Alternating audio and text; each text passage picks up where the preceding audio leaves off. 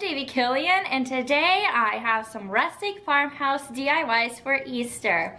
This is part of the DIY and decor challenge put on by the DIY Mommy and there is a playlist that I'll have in the description box as well but I am going to share with you an Easter rustic more farmhouse DIY that is a very simple and very affordable using some like Dollar Tree and thrifted items that I have. I am just taking these Dollar Tree eggs and spray painting them gold.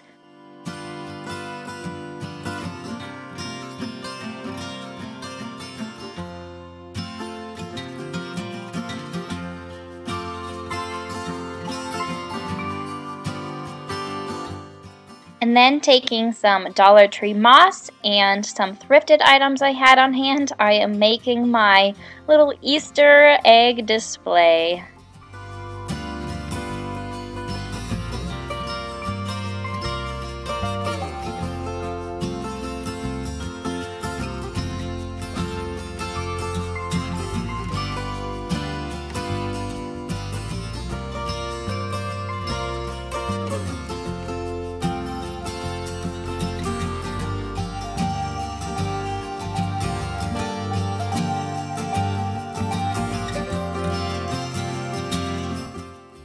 Much for watching this. I would love if you would subscribe to my YouTube community as well as give it a like for DIYs and decor. And with that, I hope you have a blessed and wonderful spring season and I will talk with you in my next video. Bye!